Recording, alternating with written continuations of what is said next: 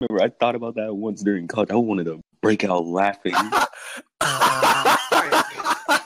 I wanted to break out yeah, laughing. let I'm like, all remember right, that let- story let me Rob explain. told me. All right, so I'm in what? What am I in? I'm in eighth grade, right? So I'm just I'm in. It doesn't matter what class I'm in. I'm in like uh like history or whatever.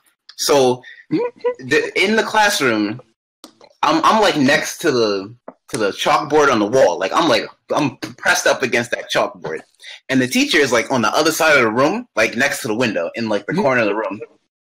So I'm taking a test, right? And I get bored. Cause I'm like, ah, man, I'm, I'm sick of this fucking test. I don't know what compelled me, but I look over, and this dude, his meat is just out, and he's like, uh, uh, he's just stroking it. I'm like? Wait. And the teacher, the teacher, I don't know what the fuck he was doing. Must be looking up porn because he was just looking at his TV like, huh? Like,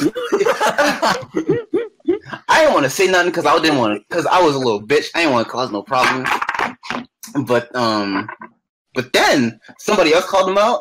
It was like this. It was the no. It was a girl sitting next to him. He's like, "Is you beating your meat?" And everybody, huh? I was like, mm. And it was like the teacher's like, "Yo, go outside."